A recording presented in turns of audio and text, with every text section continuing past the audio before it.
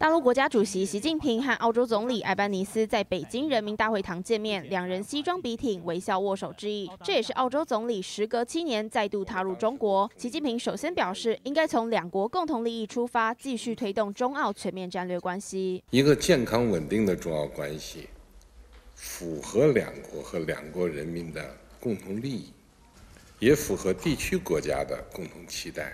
不过，习近平还趁机批评美国小院高墙、脱钩断链或是去风险，并表示要警惕，再来则是要反对。他声称中国在亚太地区不搞排他性小圈子、集团政治和阵营对抗，并表示中方愿意和澳洲开展多方合作，应对气候变化等挑战。随后，阿班尼斯也在会谈中重申台海问题。We we discussed, uh, though, regional stability, and we discussed the need for, uh.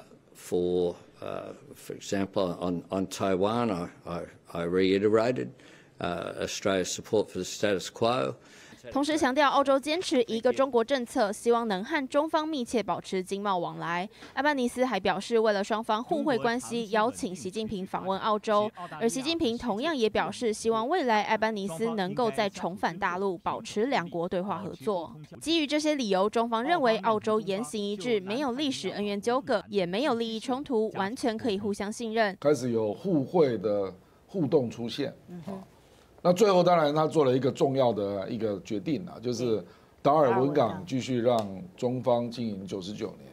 这次艾班尼斯访问中国，也让中澳双方关系渐渐回暖。记者综合报道。